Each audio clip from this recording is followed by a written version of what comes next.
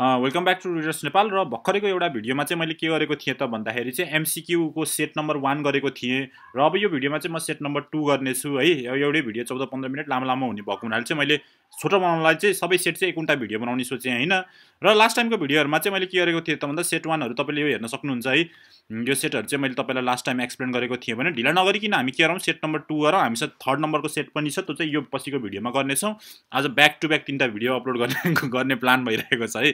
Okay now के गरौँ त भन्दाखेरि एमसिक्यू सेट नम्बर टूको फर्स्ट क्वेसनमा जाऊँ है त ल फर्स्ट क्वेसन के रहेको छ त भन्दा which of the following is not DBMS DBMS भनेको के डाटाबेस म्यानेजमेन्ट सिस्टम है अब यसको डेफिनेसनहरू जानेर बस्नुहोस् किनभने डिबिएमएस त्यसको प्रोज र कोन्स पनि एकदम धेरै एक्जाममा सोधेको क्वेसनहरू मध्ये पर्छ इक्जाम्पल सोधेको चाहिँ एकदम सजिलो छ पिएचपी होइन होइन तपाईँहरूलाई थाहा भएकै हो डिबिएस पनि हो फक्स प्रो पनि हो ओराकल पनि हो यो सँगसँगै हामीसँग नदिएको भनेको माइएसक्युएल पनि हुनसक्छ होइन? हुन त कति कति हो नि त होइन? फ्रिक्वेन्टली युज हुने एमएस एक्सेसहरू पनि छ होइन? यिनीहरू चाहिँ के हो त भन्दा डिबिएमएसको इक्जाम्पल हो। पिएचपी के हो त भन्दा पिएचपी भनेको क्लाइन्ट साइड ल्याङ्ग्वेज हो कि? ए सरी सर्भर साइड हत्तेरी। सर्भर साइड ल्याङ्ग्वेज हो कि? JavaScript like client side भनिन्छ नि त होइन? अनि सर्भर साइड वा कहिले कहिले ब्याक इन्ड पनि भनिन्छ है? ब्याक इन्डको लागि पनि युज गरिन्छ नि त। एउटै कुरा हो। अनि यसको फुल फर्म के रहेको छ त भन्दा hyper text preprocessor hyper text preprocessor यो क्वेसन एकदम सजिलो भयो यो त दस कक्षामा पनि तपाईँहरूले त्यस्तै पढ्नुभएको थियो होइन? यो अप्सन चाहिँ धेरै सजिलो भयो कि मैले आफै बनाएको मैले राखिदिएँ मात्रै है?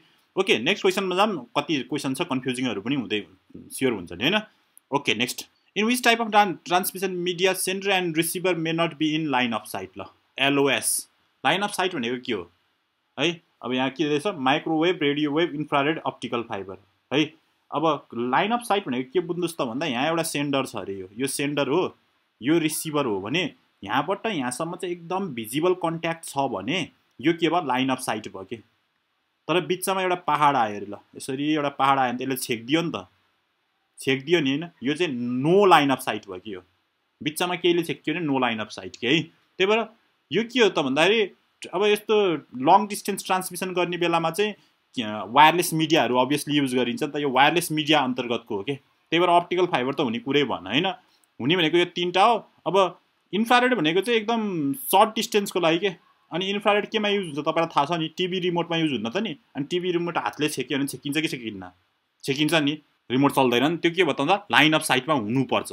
भनेको मे नट भने नि? मे नट कुन हुने होइन? कुन नभए नि हुन्छ अरे? है? अब रह्यो के त भन्दा यो त हुने कुरै भएन किनभने हातले छेक्दा छेकिन्छ रिमोटै चल्दैन होइन? माइक्रोवेभ र रेडियो वेभ के अब? माइक्रोवेभ भनेको फेरि कस्तो हो त भन्दा लङ डिस्टेन्स ट्रान्स ट्रान्समिसन गर्नलाई माइक्रोवेभ युज गरिन्छ कि? त्यही भएर यसमा पनि के हुन्छ त भन्दा एलओएसमा हुनुपर्छ कि? हुनैपर्छ त्यही भएर त तपाईँको एन्टिनाहरू डिस्टिभीहरू आकाशतिर फर्काएर राखेको हुन्छ नि। ठुल्ठुलो एन्टिनाहरू डाँडाको टुप्पोमा लगाएको हुन्छ नि।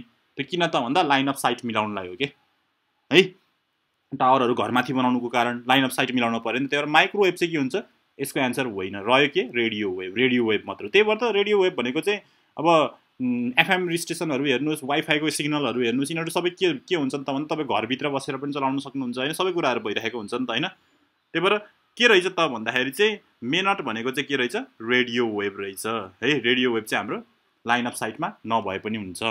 नेक्स्ट क्वेसनमा जाऊँ है त। Which of the following is not a protocol एकदम सजिलो क्वेसनहरू परेछ है यसमा है। एफटिपी भनेको फाइल ट्रान्सफर प्रोटोकल एसएमटिपी भनेको simple mail transfer protocol POP भनेको पोस्ट अफिस प्रोटोकल युटिपी भनेको मैले अघि नै भनिसकेँ unshielded twisted pair unshielded twisted pair यो चाहिँ केबल हो नि त है। एकदम सजिलो भयो। एसटिपी पनि जो के दिएको कि एफटिपी एस युटिपी भन्ने प्रोटोकल जस्तो लाग्छ नि त हामीलाई। अनि एसटिपी दिएको भए के हुन्थ्यो? सिल्डेड ट्विस्टेड पियर केबल हो कि है। त्यही भएर युटिपी चाहिँ प्रोटोकल होइन। है यस्तै प्रोटोकलहरू धेरै नै छन्। नि एचटिटिपी मैले अहिले भनिहालेँ टिसिपिआइपी भन्ने प्रोटोकल नै हो होइन। प्रोटोकलहरू टन्नै हुन्छ है। ओके अब अर्को क्वेसन आयो। अर्को क्वेसनमा के लेखेको छ त भन्दाखेरि हेरौँ है त। Which of the following statement is use to insert image in HTML भनेको छ? एचटिएमएलले त एकदम सजिलो एघार क्वेसन भइहाल्यो। अब यसमा धेरै अप्सनहरू नडुलाउँ यो त जान्नै पर्ने हुन्छ। आइएमजी एसआरसी आइएमजी भनेको इमेज एसआरसी भनेको सोर्स अनि त्यो पछि तपाईँले इमेजको नाम लेख्नुहुन्छ विथ एक्सटेन्सन अब त्यो एक्सटेन्सन भनेको इमेजको एक्सटेन्सन जे हुन्छ त्यही हो। त्यही भएर यसको यो छ। आइएमजी एसआरसी है। झुकाउँदैछ इमेज लेखेको छ इमेज सोर्स लेखेको छ। अब यो बिर्सेको नि हुनसक्छ नि त। त्यही भएर यो एन्सर भइहाल्यो एकदम सजिलो भइहाल्यो। Which of the following is DML statement है डिएमएल कुन हो भनेर सोधेको छ। तपाईँको मोडल क्वेसनमा डिडिएल सोधेको भएर मैले यहाँ डिएमएल बनाइदिएको है। यसको बारेमा मैले डिएमएल डिसिएलको छुट्टै भिडियो बनाएको छु होइन। त्यसमा तपाईँले हेर्न सक्नुहुन्छ। कपाल अफ भिडियो पछाडि हो। यो ड्रप अल्टर क्रिएट भनेको यो के हो? डिडिएल हो। क्रिएट क्रिएट डाटा डेफिनेसन के? डाटा डेफिनेसन ल्याङ्ग्वेज डेफिनेसन भन्ने बित्तिकै सुरुमा डिफाइन गर्दाखेरि क्रिएट गर्न पर्छ नि त। होइन? त्यही भएर डिडिएल भइहाल्यो कि। हाम्रो डिएमएल भनेको म्यानुपुलेसन हो कि। एम भनेको के हो? म्यानिपुलेसन हो नि त। अनि म्यानुपुलेसन गर्नलाई हामीलाई के गर्न पऱ्यो म्यानुपुलेसन भनेको त म्यानुपुलेट गर्नलाई इन्टरप्रेट गर्नलाई हामीले के गर्नु पऱ्यो सेलेक्ट गर्न पऱ्यो इन्सर्ट गर्न पऱ्यो अपडेट गर्न पाउनु पऱ्यो डिलिट गर्न पाउनु पऱ्यो म्यानुपुलेट गर्न पाउनु पऱ्यो नि त। त्यही भएर यसको एन्सर बी हो है। ट्रङ्केट प्रोभोक प्रोभोक होइन रिभोक भन्ने हुन्छ कि अरे होइन? ट्रङ्केट भनेको पनि डिडिएल हो फेरि। डिडिएल यो नचिनेर मात्र हो हुनसक्छ। हामीले ट्रङ्केट भनेको पनि डिडिएल हो। त्यही भएर यसको एन्सर के रहेछ त भन्दा हाम्रो यो है सेलेक्ट इन्सर्ट अपडेट डिलिट भनेर सम्झिनुहोस् डिएमएल डिसिएलहरू आउँछ क्या एक्जाममा है।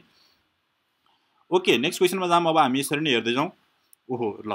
How can we access variable inside the structure having following statement अहिले मैले भने स्ट्रक्चरको यसको ल यसको टोटल मेमोरी कति हुन्छ?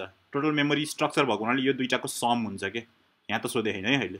तर के भने यो भित्रको यो भेरिएबल एक्सेस गर्न पऱ्यो भने कसरी एक्सेस गर्ने भन्ने कुरा हो। हेर्नुहोस् है त अब स्ट्रक्ट इम्प्लोइ ई यो स्ट्रक्चरको भेरिएबल कुन हो? ई हो कि? है स्ट्रक्चरको भेरिएबल ई हो। हामीलाई स्टोर गर्ने अरू भेरिएबल भनेको आइडी र एन हो। अब यो आइडी एक्सेस गर्न पऱ्यो भने के गर्ने भनेर सोधेको यो त सम्झिनै पर्ने हुन्छ। पहिला स्ट्रक्चरको भेरिएबल आउँछ त्यो पछि के आउँछ त्यो भित्रको भेरिएबल आउँछ। केले छुट्याउँछ त्यसलाई? डटले छुट्याउँछ डटले। है इ डट आइडी। है इ आइडीले के रिप्रेजेन्ट गर्छ अब हाम्रो? यसको भित्रको भेरिएबल रिप्रेजेन्ट गर्छ कि? अन्डर स्क्रोल हुने कुरा भन आइडी झन् अगाडि आउने कुरै भन पहिला स्ट्रक्चरको भेरिएबल आउनु पऱ्यो अनि त्यो पछि बल्ल के आउनु पऱ्यो भित्रको भेरिएबल आउनु पऱ्यो इ डट आइडी है यसको है? ओके नेक्स्टमा जाऊँ। Which are the following is not a feature of OOP अघि नै भनिसकेँ इनहेरिटेन्स पनि हो इन्क्याप्सुलेसन पनि फिचर हो पोलिमर्फिजम पनि हो लुपिङ होइन। फेरि यसको मतलब चाहिँ ओओपीमा लुपिङै गर्न मिल्दैन भनेको होइन क्या यो भनेको कन्ट्रोल स्ट्रक्चर हो नि त।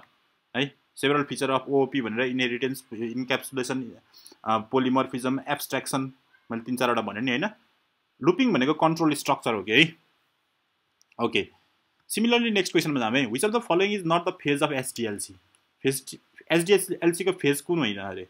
एनालाइसिस हो डिजाइन पनि हो टेस्टिङ पनि हो डिप्लोइङ होइन। है डिप्लोइङ भनेको चाहिँ अब डिप्लोय गर्ने हुँदैन नि त हाम्रोमा।